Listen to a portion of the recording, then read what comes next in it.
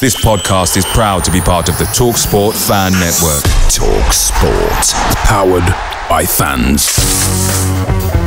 Tregear! What a goal! It's absolutely world class from Marcus Tregear! Terrific goal!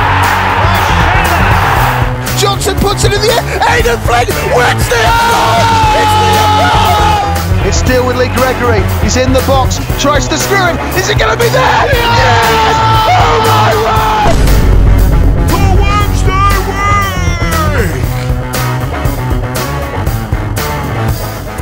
week! Hello, good evening, and welcome to the Wednesday Week podcast, um, where this week we are looking at our preview show for the forthcoming game against Stoke City in this week's edition of.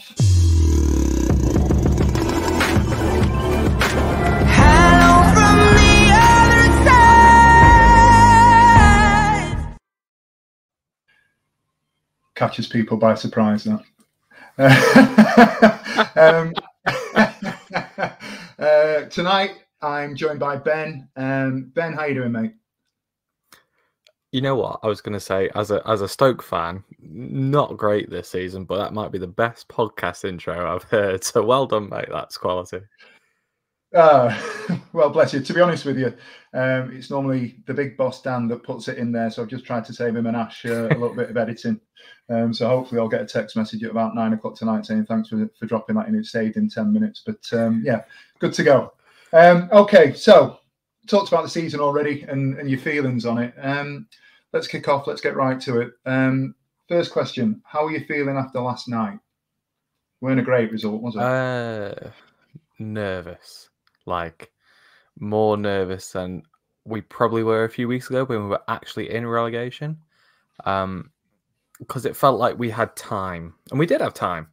You know, we've we've we pulled off some decent wins this season, some decent results. Um, but it's nights like last night when we losing 3 0 to Swansea, who, you know, on on paper in their record suggests that they're no better than us, really. Um, you know, we've always done very well at Swansea in in recent seasons, and we fell apart.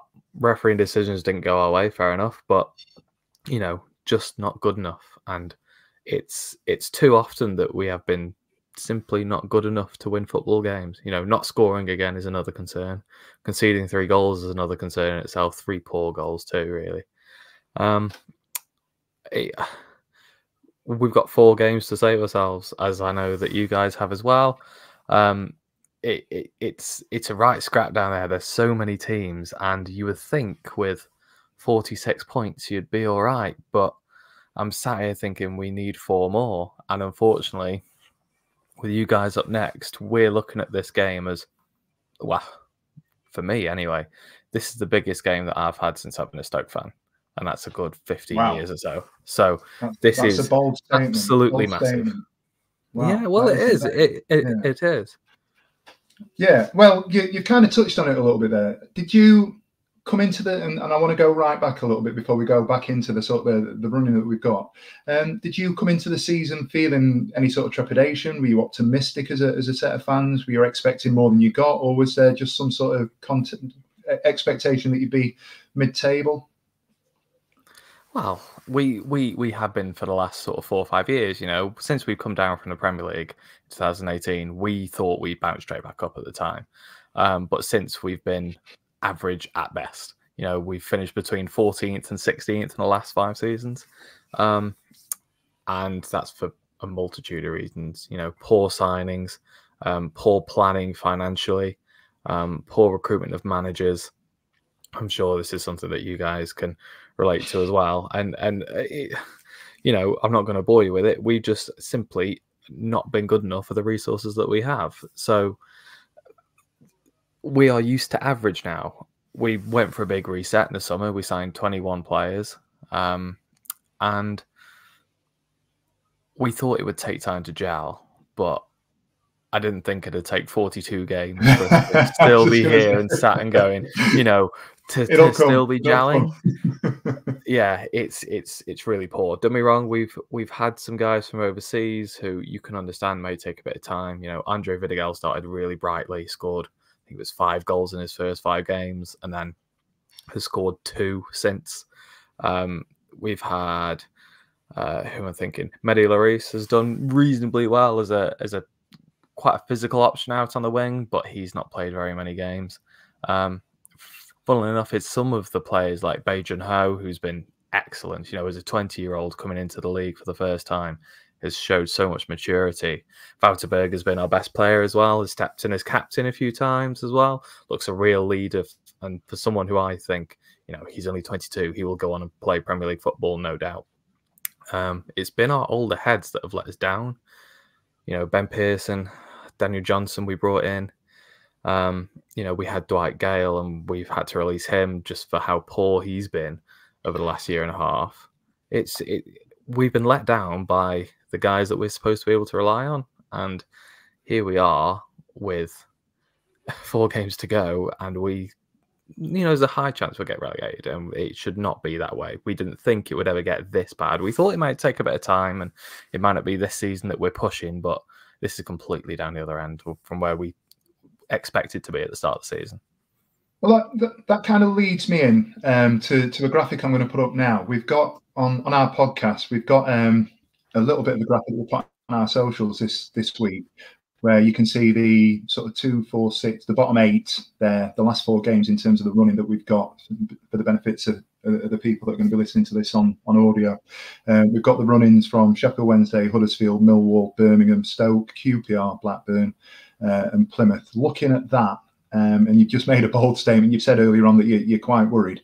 Um, do you think you've got one of the tougher run-ins there? Um, I think on paper, actually, when you compare it to you, you know the likes of Blackburn, there, like they really do have a tough run. I think, but on on paper, I was okay. I mean, we should be able to give a game to you guys. The same to Plymouth at home you know, with with with all the history we've got with the manager too, there's a bit more spice to that game than there'd usually be. Southampton, you would imagine, with two games to go and being where they are, would be on the beach. Um, and Bristol City the same last last game of the season, and again we're at home, so you would think the running is. But having said that, you know, I look at the teams on the screen at the moment, and we've given three points to you guys. We've definitely given points to Birmingham uh, perhaps even six to QPR, uh, maybe three points to QPR, six to Blackburn, three to Plymouth, three to Birmingham. We everyone on that screen we've given at least three points to this season. I think. Yeah. So so it's the teams in and around that you've struggled against. And and hence why we have probably got ourselves in such a bad situation, you know.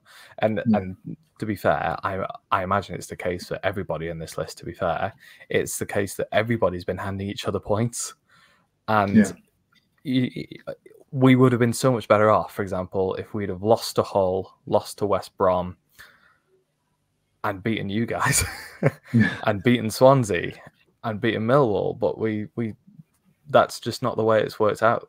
So that's why I'm worried because the games we've got left, we should be winning, and they're exactly the games we're probably going to lose.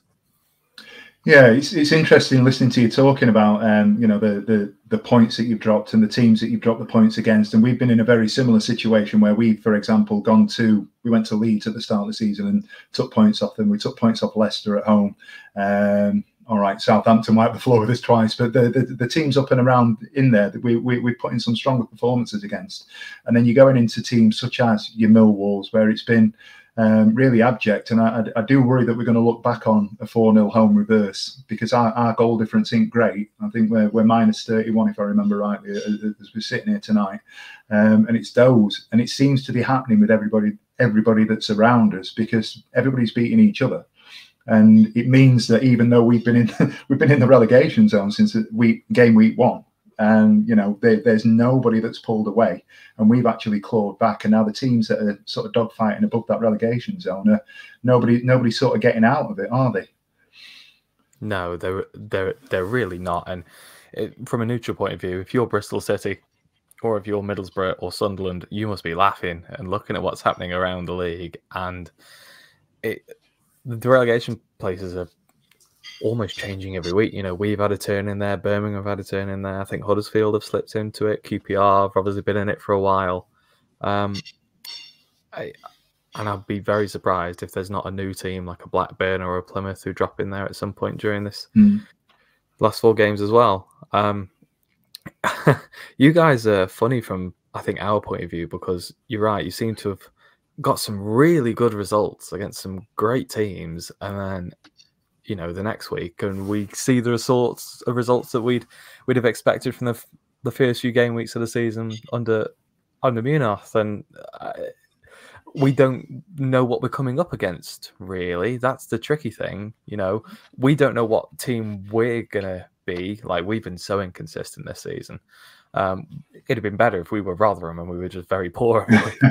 um, but you know, the same for you guys. We don't know what Sheffield Wednesday team we're going to turn up and face. Now, I don't know if there's a uh, a certain style you guys prefer to play against. I know we certainly prefer to play teams who are on the front foot. You know, if we see a team that sits back, we we don't seem to be able to break those sorts of teams down, and that's why we drop those points to those teams who are lower in the table. But it I think that's part of the agitation. I could accept it if I thought that we were going to win or lose on Saturday, but there's you know such uncertainty around it that God knows. God knows. It's it's the hope that kills you, isn't it? mm-hmm, mm-hmm. I mean, in terms of our style of play, um, I think uh, the manager's made some noises today about how we've managed to get ourselves in the conversation for staying up, and he's, he's, he's attributing a lot of that to the fact that he is such a, a dynamic and progressive manager. Um, neutrals would read what he'd said at, uh, at, his press conference this afternoon and, and, maybe thought he was being a little bit arrogant um, and to an extent, he probably is, but he's talking about the fact that he's got an adaptability. There's been times where we've set up and sat deep. There's been times where we've played on the front foot. Um, I would imagine not to not to worry you and not to sort of go in there with a, a big bold statement, but I would imagine that he will have a game plan on Saturday and he'll know how you you guys will be setting up. Um, we've flitted between a four at the back and played a three at the back. I actually think at the moment we're probably better off playing the three. Um, we were 2 0 down at half time on Tuesday night, and it wasn't great against Norwich. But at half time, he made four substitutions um, and brought on Callum Paterson as a battering ram, who absolutely just tore through people and gave it your old school 100% energy. Um, and it was very sort of different to the style of football that we've had under under Danny Röhl, but it worked, and we've got two two goals from two set pieces. Um, I don't think we've scored from a set piece all season and his style of play changing has, has, has, really sort of affected what we did on Tuesday night, and it's it's got our tails up a little bit. Um, I do think to, to sort of temper all of that, uh, if I if I can, I, I do think um, we need to keep our feet on the ground. There's an expectation that you know, having done the hard work against Norwich, and our next two games, if I just put the graphic back up, um, our next two games are against yourselves and Blackburn, and then we've got West Brom and Sunderland. Um, you know, the noises from us arrogantly are that if we can get four, six points out of the next two games, that that, that puts us in with a shout. Um, so yeah, we'll we'll we'll see where we are. You you know, um, the last time we played you, uh, it was one of Alex Neil's last games. I don't know if it was the game where he, where it he was went. the game. Um, yeah, I, I, looking at the form guide before that, you, you, it hadn't been great. I think you lost at least five or six on the bounce.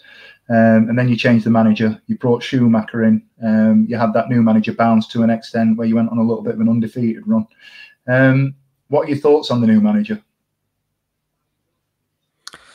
Um, my thoughts on the new manager is I like him. Um, I like the fact that he seems to be quite a warm character. You know, we've had some quite cold managers here at Stoke City over the last probably 10 years, maybe going back to Mark Hughes, who wasn't a very warm character. Tony Pulis was probably our last warm manager, someone likable. Um, Nathan Jones was likable at the time, but you look back and good lord, um, now we hate him. Um, but Schumacher, I think we can really get behind. Um, he, I think he is clearly learning. Um, mm. He's a good coach, um, and he's been able to get the best out of some individuals. Um, but clearly systematically he approaches some games completely wrong. Um, we went into the Norwich game, for example, and they knew that if they went down their right hand side, you know, Sam Byram and I can't think what the lad on the right was at the game. Was it Borja Sainz? I'm not sure. Um, mm. They knew that if they flew down that right wing, we didn't have a left back, and we were playing Lynden Gooch as a like left wing back role. Got completely torn apart every single time, and we conceded three goals. I think based off that um, but then if we are able to hang in the game, he, like your manager, is able to change the game. You know, he he he he must be up there across his time between Plymouth and Stoke this season, up there for the most substitutions. Certainly the most changes game to game. We have no idea what starting eleven is going to come out on Saturday, and he's probably going to make four or five subs relatively early on too if he thinks that something has gone wrong. Um, I think he's the right sort of manager to a point, but he's probably come at the wrong sort of time. If we were happily mid-table like a Bristol City were, and we were looking to, you know, just just go to the next step, I think that that Schumacher will be the right kind of person to appoint. But when we appointed Schumacher, we were two points off relegation. We, you, you know, confidence was through the floor. You know, we lost to you guys in the 90th plus three, I think. Mm. We take the games before that, we'd lost to QPR in added time. We lost to Plymouth in added time. Pretty sure we can go back a couple of games. We certainly conceded in added time. You know, that that wasn't an ability thing. That was a mentality thing, and the confidence was on the floor. Schumacher's done well to do a little bit better. Mm. But he's he's just not quite done enough, I don't think. And there was a six or seven game period where we were just losing every week with him, and it's because he was trying to do too much too soon, playing with inverted fullbacks, and it, it just wasn't working. He's found his pragmatism in recent weeks, and actually, over the last seven, eight games, if you'd taken our form over the whole season, we, we'd be doing pretty well. And I think mm. that form is sustainable. Yeah, we'd lose mm. the odd, game to Swansea or whoever along the way, but we got some good results, good performances. It's too late though, I think, and it, we are now in four huge games. If you go, if you do go down, and I'll be honest, I don't think you will. I think you'll be all right. And with all due respect for us, it's a must-win. And for, for the regulars on our podcast, I'm I'm the person that says the game isn't a must win until it's the last game of the season and we need three points. But I do feel on, you know, coming out of last night's results with the teams around us and, and our result on Tuesday, um, I do feel that we need three points on, on Saturday. And if we get them, I don't see you guys dropping in because I think there are other teams in and around um, that we may come on to speak about uh, momentarily that are probably in a, a, slightly worse position than you with a slightly more difficult running. Um, however, if the if if the worst does come to the worst and you do go, do you think you'll retain the manager? Do you think he's the guy to get you out of League One if you do go down? I mean, he did get promoted last season with hundred odd points, so you would hope so. oh, you know, I know. Like, doing this? Season. Oh, yeah, I'm sure you do. Um, you know, like eh, look what Ipswich Town are doing this season, and he was able to finish above them. So mm. you uh, you you would think that he probably knows the league. You would think that the squad would undoubtedly get another reset because of the high wages we currently have. You know, there'd be a big player turnover. You would think that he, would be able to bring in a team that could compete at the level and get us promoted again. Mm. Whether we actually do that, I, I don't know because this club has a funny. John Coates is a, or, or the Coates family rather, have been good custodians of Stoke City on a financial point of view, on a loyalty point of view, and and they are 100% committed to the football club. Their mm-hmm. decision makings in football in terms of the last five years have been dreadful, and we're sacking managers when we shouldn't be, and not sacking them when we should be, and bringing in the wrong players and the wrong manager at the wrong time, and signing players when we shouldn't be, and you know we've not signed a left back for goodness knows how long that's been able to play 20 odd games, and Yet we're signing four strikers this summer that we didn't need that we're not playing with now. So it's been haphazard management at best, and it will be negligence that will send us down. It'll be the same sort of negligence that means, you know, we sack Steven Schumacher, we bring in some other manager who we think is better than him, and mm. the same sort of thing happens again. We don't go up.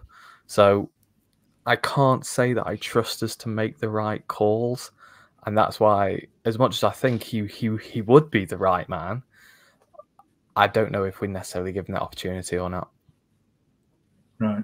That's that's really interesting because I'm with you. I'm as a as a neutral and outsider. I think he's absolutely the right person, and I think in a, a, a team that goes down this season will need stability. And you know, Rotherham will go down. Rotherham will need a rebuild. I think again they've got a manager that is proven at that sort of level. Um, if he can clear the decks, they, they, will be a tough team to get out of the league next year as well. So you know, we'll we'll, we'll see where things go there. Um, I don't know if you're coming up on Saturday. uh, to the game yourself? I'm not. No, I'm. Um, I'm meeting a friend in Liverpool. Unfortunately, unfortunately, fortunately, I don't have a great away. I, I, I, I have seen two away wins in my time, and both have been in the West Midlands. So Right, fans will be glad that I'm not going. Actually, right, okay, okay. But when when when the Stoke fans and the Stoke team do turn up, um, who who's the players that we need to be looking out for? Uh, I must admit, I've had a quick look beforehand. Vidigal aside, um, there's not anybody really that sort of sticks out. Is there, is there anybody that we really need to be looking out for? and it's funny because you say Vidigal aside, but since August he's been very poor. You know, he's Right. he's barely been in the team. He's scored one goal in January and a rebounded penalty, I think, last weekend. Right. And that has been all we've seen of him for the last few weeks. And this is why we are where we are. Um, he's Right. he's scored six goals. He's not playing very well. Hasn't done since August. Ryan Mmaee is the next top goal scorer, and he has had three long-term injuries, I think, this season. And he's also fell out of favour with the manager during sort of period of January to March. You know, just through discipline, missed out on the team. So he's played about probably I don't know a dozen, a dozen and a half games, and managed to score. Looked lively, but again, he's been out of the team and he's ruled out for the rest of the season as well too. I think our next top goal scorer is genuinely own goal. So we're we're we're relying on you to put it in your own net on Saturday. Um, we've got we've got one or two players that can do ones and twos. that. Yeah, thank goodness for that. Because the rest of the players are on the ones and twos, and um, Yeah. yeah, we make defensive mistakes, and that's that's you know every team does that. It's our attacking threat, so we we look blunt, and that we we looked very blunt against Swansea, albeit having some great play against West Brom. Part of that was through my uh, Brian May, who was playing, who's now injured. Um, players to watch out for, I would say Bae Jun-ho, who's been, as I said, a real revelation for his age this season, been one of our standout players. But I think he's just been called up to the South Korea under 23s to take part in the Olympics. So whether he's actually there for Saturday's game, I have no idea. Um, I would say uh, Wouter Burger too, who uh, I, again one of the buys of the season probably from any club. I think it's just so it's it's such a shame that we're doing so poorly because he would, you know, be standing out head and shoulders as one of the best midfielders in the league. I say that he got banned for a couple of games for accumulating too many yellow cards a couple of weeks ago. And since Mm. then, he's not really stepped into the midfield in the same way. So he's been playing pretty poorly. Um, Josh Laurent has looked good at times, but he's going through a bit of a sticky patch again. Lewis Baker looks to be probably our most genuine goal threat at the moment, but he's not been in- the team for the last couple of weeks. Luke McNally and Michael Rose have had a good centre defensive partnership, but again, they looked shaky against Swansea. Um, our fullbacks are mostly injured. Ki-Jana Hoever's playing quite well. I would say he's one of the players most in form for Stoke at the moment, having scored and assisted a couple in his last few games. Mm. Danny Iversen again, decent in goal, but has like has his on and off games.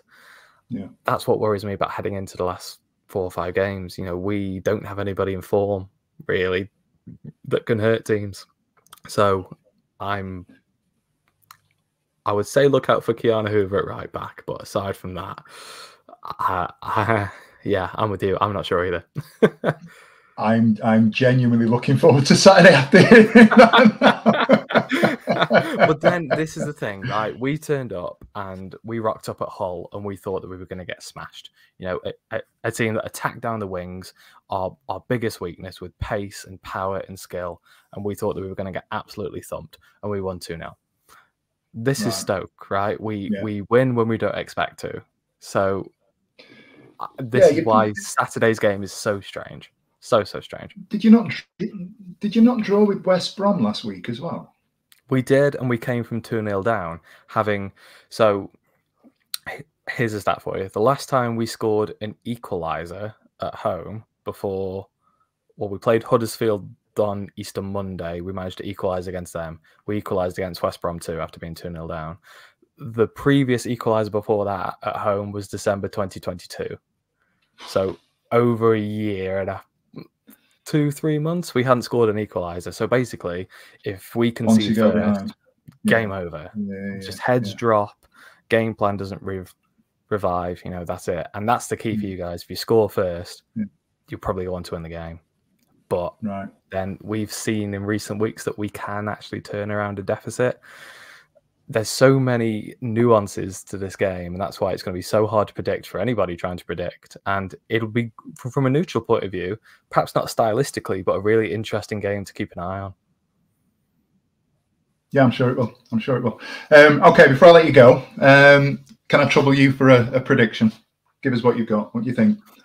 Based off all that, you want me to give a prediction? Um, I I want to see if your prediction's Tell you what I will consistent with your, your your forecast. yeah, yeah. You what I will say. I think that if we are to stay up, we need to beat one of you guys. Guys are to stay up. You probably got to beat both us and Plymouth and and Blackburn. You've got after us, I think. yeah. Yeah, yeah, If you beat both of them, I think you'll stay up as well. Um, Mm-hmm. Based on that, I'm going to say we'll lose to you guys, but beat Plymouth, and we'll both stay up. How's Listen, that? I'll take I'll take it. I'll take it. yeah, Um, yeah, I thought you might. I, I'm, I'm gonna I'm gonna go for um, I'm gonna go for a narrow win. I don't think it'll be quite as comfortable, um, but I do think momentum's on our side. I thought we, we played particularly well against QPR. We we came back second half and did what needed to be done on Tuesday night, and I think we Yeah. we will take that momentum into Saturday, and I think there'll be a, a, a fairly fairly decent crowd there. So I'm looking forward to it, and I, I do think we'll we'll probably sneak it maybe two one. 3 1. Um, but I do think we'll, we'll we'll come away with the three points. And that will be the first time, potentially, other than 45 plus one minute against Leeds United the other week, and that we'll have been out the relegation zone since the first game week, um, which Wow, at this stage would be would be would be absolutely mental. Yeah. It's the Um, time Ben. to do it. You, No, sorry. Go ahead. Go ahead. I was going to say it's the time to do it. You're better to peak now than you are peaking in January. Trust me. Yeah, absolutely, absolutely. So it, it all seems to be falling into into place. So hopefully, hopefully we'll get there. Um, before I let you go, then um, you, I should have asked you this before we came on. If you've got any plugs, any podcasts, any any sort of anything you want to promote, floor's yours. Oh, um, so I do technically still have a podcast. It's called the YYY Files. It's very different to this podcast. I sort of, it's a bit like a Jonathan Ross show, but for Stoke City fans. So I talk about Okay. their their their lives as a Stoke City fan. Um, I haven't recorded an episode in over a year just through personal circumstance, but the back catalogue's still relatively fresh. If you want something a little bit different, particularly if you're a Stoke fan listening, I suppose, really. But um, other than that, I, I like the Wizards of Dribble. I like every step along the way. There's loads, uh, Potalytics as well. Rory does the uh, the, uh, the Booth and Rawcast. There's loads of good Stoke content out there if people want to find it. Um, and I'm sure they'll be doing plenty of previews for this game as well. So um, you're not missing out. There's there's plenty of content out there if you want it. Brilliant, Ben. Uh, thank you very much. You've done a good 25 minutes there. Really appreciate your time. Cheers.